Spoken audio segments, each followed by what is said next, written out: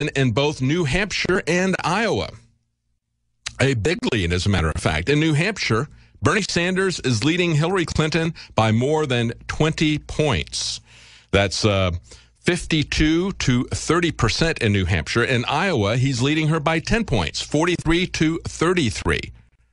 Her campaign literally is collapsing. We saw that that uh, the backdrop of the stage there, waiting for her to come on. we saw that fall over this last week. That that was a wonderful metaphor for what's going on, and it's encouraging to see that there is a, uh, a blowback against the corruption, against the lies that we've seen from the Clintons for a very long time. This whole idea that she thinks that she is above national security. National security has been the the cover for everything criminal that the government does, and yet here's somebody who violates every tenet of national security with her private email servers, and she's given it a pass. Here's what's interesting about the same number of people support Hillary Clinton that support a military coup.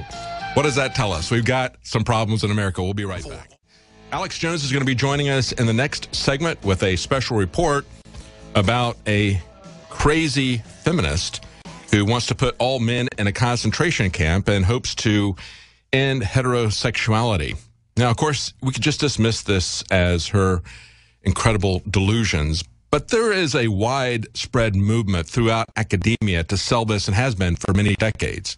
It is part of the suicide of the West. We see this unfolding with the open borders that they cannot bring themselves to oppose because they don't want to be uh, accused of being xenophobic or racist. They're being told that we have white and European privilege, but that other people have rights. Think about that for a moment.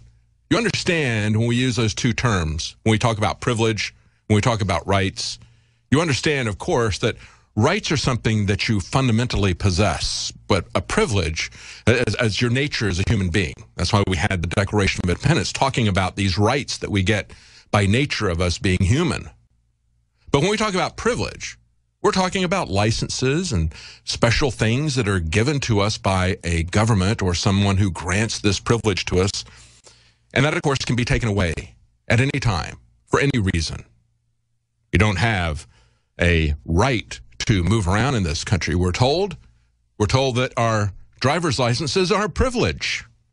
Didn't used to be that way. My father was driving when he was eight years old. As soon as he could reach the pedals, uh, my my grandfather gave him the keys to the car. And it used to be in America, you didn't have to have a passport across the borders into a country. You didn't have to have the permission of your masters to move around within the country or across the borders, but now you do.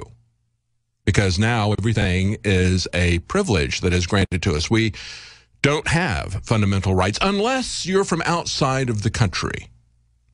If you're somebody that the government prefers, then they give them rights, but you still get the privileges. So we need to understand where this is all coming from. Another couple of uh, articles that are up on Infowars.com that I think are very telling Drone policing in the U.S. is seen as quote unquote the Wild West. That's what the ACLU calls it. They say interconnected drones could enable mass tracking of vehicles and people in wide areas. Oh, of course they could. That's precisely one of the reasons why they're doing it.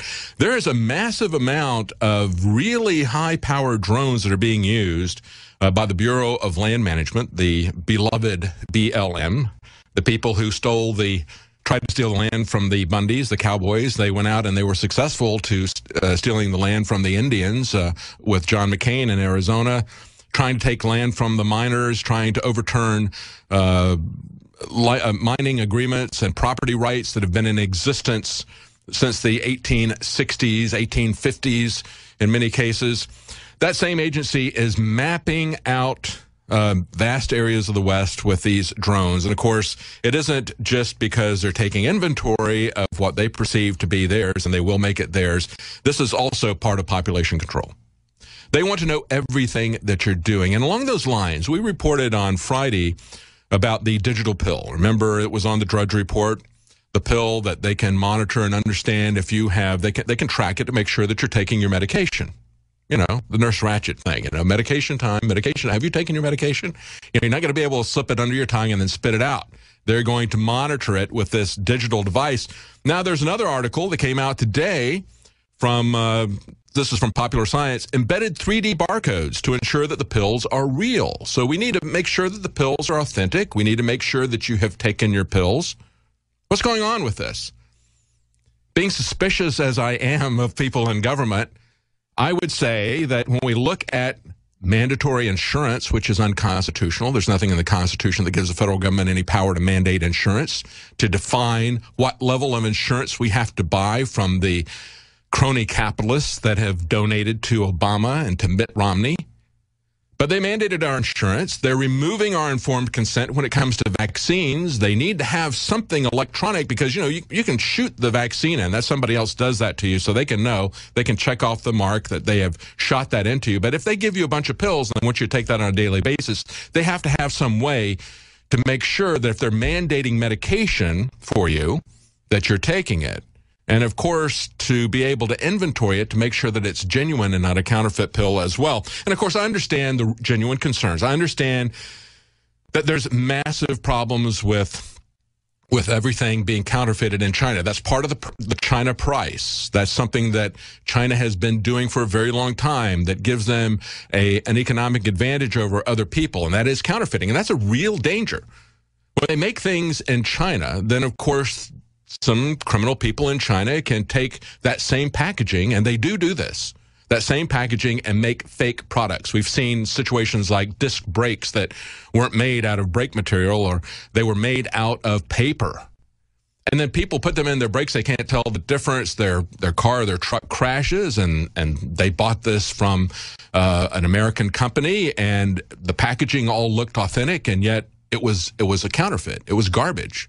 And so not only are the American companies or the other companies that are manufacturing this stuff in China and getting ripped off of that, not only are they losing the sale of this, people think they're buying something authentic and they aren't, they're then facing liability issues. So I understand that Big Pharma wants to make sure that people aren't counterfeiting their pills. Nevertheless, when we see embedded 3D barcodes to ensure that pills are real, when we see patents to make sure that we've got digital pills to know whether or not we're taking our medications.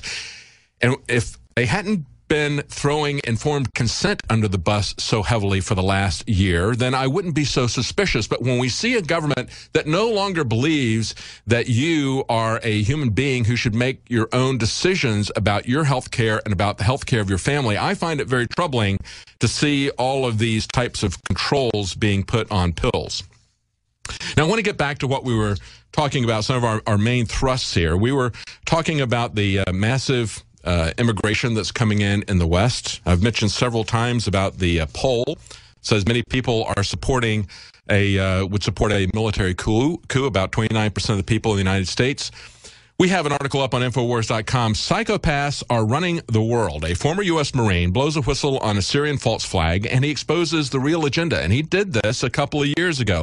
I want to play you a clip from what he said a couple of years ago because this guy lays it out for you. What's going on with this?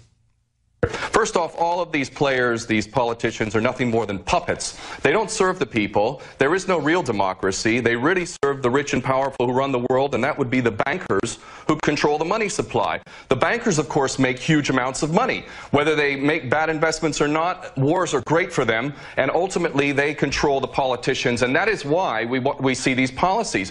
Obama and Cameron are nothing more than puppets who read the script, and the script is we need another war. And the reason reason why we need another war, according to these psychopaths who are running the world, is because more and more people, despite the clueless masses who continue to be entranced by things so ridiculous as X Factor and American Idol, there is larger numbers of, of people around the world who are realizing the truth and beginning to recapture the capacity to think for themselves. And they can see that these people who are being put in positions of public trust are defying that trust and representing an agenda which they could never speak about openly because they're nothing more than prostitutes and nothing more than minions for the powers that be. Very well said. And of course, as a former Marine, Ken O'Keefe, uh, he is now an expatriate. He uh, is now a citizen of other countries because he's so concerned about what's going on in America. And as he points out uh, in further remarks, he says, We don't operate under law. We have a law of the jungle in which the rich and powerful basically determine what goes and what doesn't go. And that's what we're seeing happening here. He says the so-called war on terror is nothing more than a well-planned strategy to be in a perpetual state of war to destabilize the region for the greater Israel plan. Precisely. And of course, for Saudi Arabia as well. It is the Saudi Israeli axis that is running this. It's not the Syrians and Iranians that I believe pose the greatest threat to us. They're not the ones, or to the region, certainly, they're not the ones who are fomenting war. It is the United States and our allies who are escalating things. Stay with us. We'll be right back. Alex Jones back breaking down some of the latest news and developments. Paul Watson has an article and a video up on Infowars.com titled Top Feminist Says Put All Men in Concentration Camps. Journalist also hopes heterosexuality doesn't survive and is inherently a bad institution. That's what I've explained here. I'm not against or I don't hate people who have other sexual preferences. Quite frankly, I'm not obsessed with it. I think it's a football issue. But the larger situation behind it is not just bread and circus, not just a distractionary political issue from other bigger issues. It's the fact that, as we cover in my film Endgame 1.5, uh, an online update, the university papers are clear from the 60s the plan to not just get women all in the workforce so the state raises the kids, but to then start breaking up the family itself. And if you're able to do that, it's game over. And this lady, in multiple articles that Watson quotes, and in other statements says, hey, I'm serious. Men need to be put in re-education camps. Heterosexuality is bad, period. Men are bad. I hate men. And you can go read her quotes, and this is probably one of the top 10 so-called feminists out there. And if you look at these top feminists, they're all the same, just power-crazed weirdos that look like men themselves. And so I guess she needs to be the first person to put herself in a re-education camp. But this is the state and social engineers getting in between not the oldest human institution, the oldest institution of life is reproduction between male and female. Whether it's insects or fish or amphibians or mammals or marsupials, it's not sexist that the duckbill platypus is male or female. It's not bad that I breathe oxygen and exhale carbon dioxide. Uh, it's not bad the sky is blue. These people literally are the biggest con artist on earth, in my view, because they triple and quadruple down and just say, we're going to tell you how to talk. No more he, she, no more man, woman, no more uh, husband, wife, because it hurts people's feelings. We're going to tell you no more uh, sports in schools, no, no more contact, no more tag, no more dodgeball, no more competition because that hurts somebody's feelings and somebody loses. These people are scientifically creating a culture of jellyfish that can be overwritten and destroyed. And once the family, the basis of the nucleus to set up a camp, to set up an operation, you know, a good camp of gardens and farming and machine shops and working with others, once that human basic building block has been destroyed, the globalists have taken over. And I've said this hundreds of times, I'll say it again. If I was an alien species studying the planet Earth from afar, like looking at microbes under a petri dish through a microscope, this is exactly how I'd take down the planet, how I'd take down humans.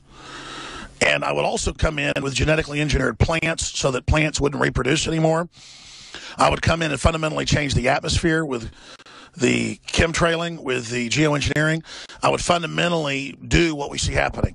And the truth is, I don't believe it's space aliens carrying this out, but it's humans that are psychopathic, served by sociopaths who hate goodness and hate the basic order of the world and want to play God. And that's what they're doing. They destroy the environment with glyphosate and GMO and then tell us carbon dioxide that plants breathe is bad. Uh, and we've all got to be tracked and taxed because we're all guilty. Uh, they radicalize Islam, bring it into the West to rape, kill, and murder, and then arrest anybody protesting against it. Again, it is an upside down reality. And these people know they're totalitarians. They know they're hateful. They know it's social engineering. I've read their textbooks, I've read their writings. I mean, I remember 15 years ago, 16 years ago, being mailed a copy of the major textbook used for social services in college. And I showed it on air and people didn't believe it. And it said, the family belongs to the Dark Ages. The family belongs to prehistoric times. I mean, I'm quoting it exact because I've quoted it so many times. Dark Ages, prehistoric times before that. Uh, it must be eradicated. So when Melissa Harris Perry gets up on MSNBC in a promo and says, we got to get over the idea that your kids belong